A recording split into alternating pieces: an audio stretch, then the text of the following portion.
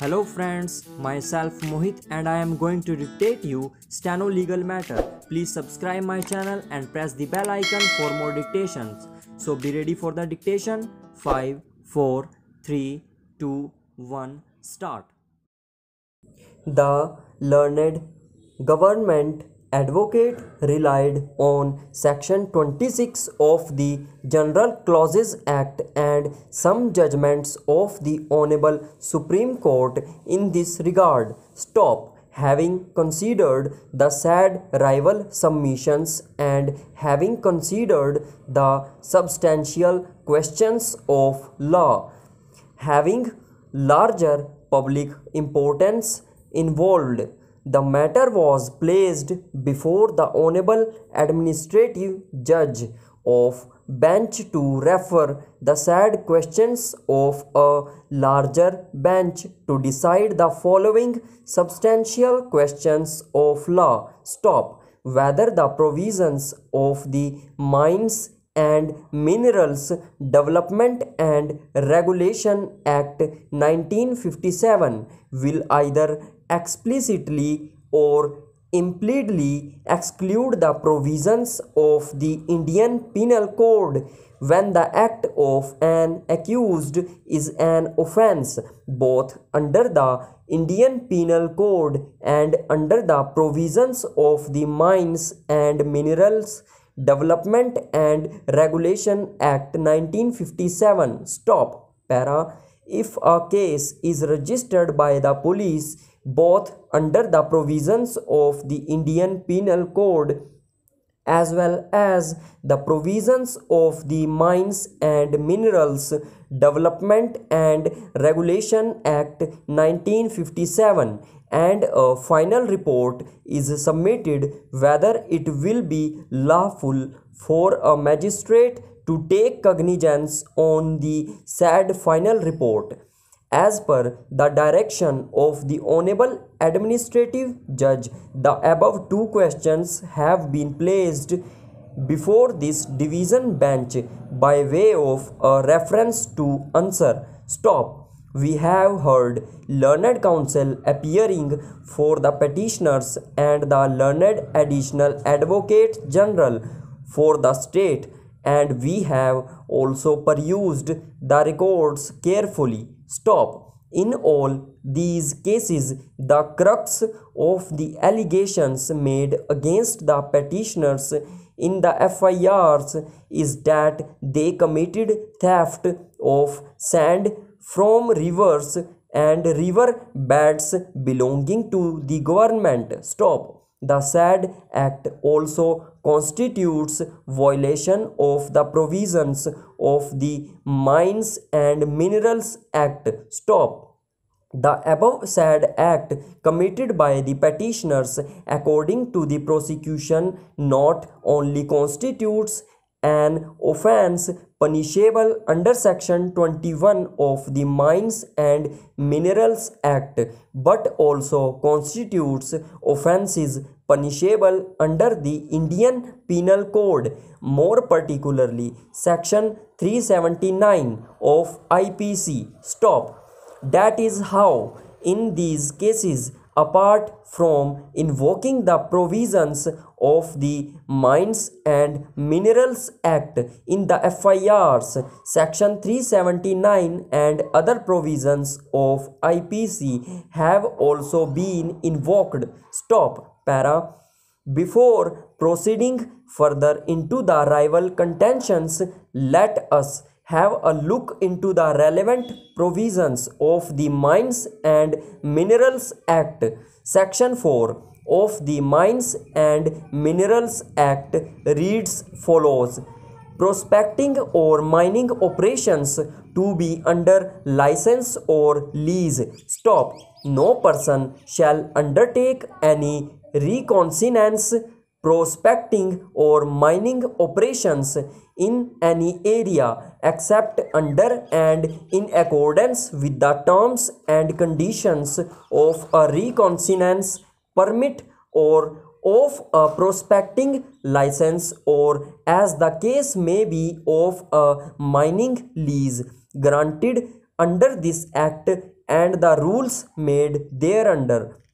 Stop. Provided that nothing in this subsection shall affect any prospecting or mining operations undertaken in any area in accordance with the terms and conditions of a prospecting license or mining lease granted before the commencement of this act which is in force at such commencement. Stop provided further that nothing in this subsection shall apply to any prospecting operations undertaken by the Geological Survey of India, the Indian Bureau of Mines, the Atomic Minerals Directorate for exploration and research of the Department of Atomic Energy of the central government the directorates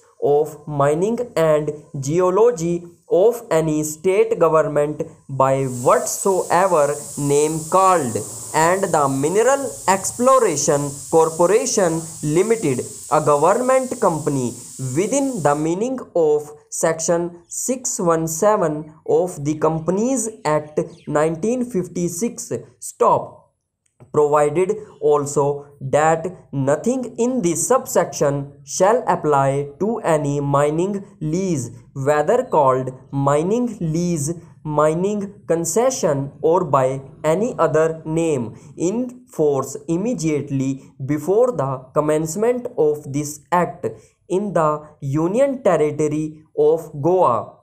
No person shall transport or store or cause to be transported or stored any mineral otherwise than in accordance with the provisions of this act and the rules made thereunder. Stop. No reconnaissance permit, prospecting license or mining lease shall be granted otherwise than in accordance with the provisions of this act and the rules made thereunder. Stop. Para. Any state government may, after prior consultation with the central government and in accordance with the rules made under section 18, undertake reconnaissance prospecting or mining operations with respect to any mineral specified in the first schedule in any area within that state which is not already held under any reconnaissance permit prospecting license or mining lease section 21 of the mines and minerals act reads thus para whoever contravenes the provisions of subsection 1 or subsection 1 of section 4 shall be punished with imprisonment for a term which may extend to 2 years or with fine which may extend to 25000 rupees or with both. Stop. Any rule made under any provision of this act may provide that any contravention thereof shall be punishable with imprisonment for a term which may extend to one year or with fine which may extend to 5000 rupees or with both. And in the case of a continuing contravention with an additional fine which may extend to 3 500 rupees for every day during which such contravention continues after conviction for the first such contravention. Stop. Where any person trespasses into any land in contravention of the provisions of subsection 1 of section 4 such trespasser may be served with an order of conviction by the state government or any authority authorized in this behalf by that government and the state government or such authorized authority may if necessary obtain the help of the police to evict the trespasser from the land. Para whenever any person raises transports or causes to be raised or transported without any lawful authority any mineral from any land and for that purpose uses any tool, equipment, vehicle or any other thing such minerals, tools, equipment, vehicle or any other thing shall be liable to be seized by an officer or authority specially empowered in this behalf. Stop any mineral, tool, equipment, vehicle or any other thing seized under subsection 4 shall be liable to be confiscated by an order of the court competent to take cognizance of the offence under subsection 1 and shall be disposed of in accordance with the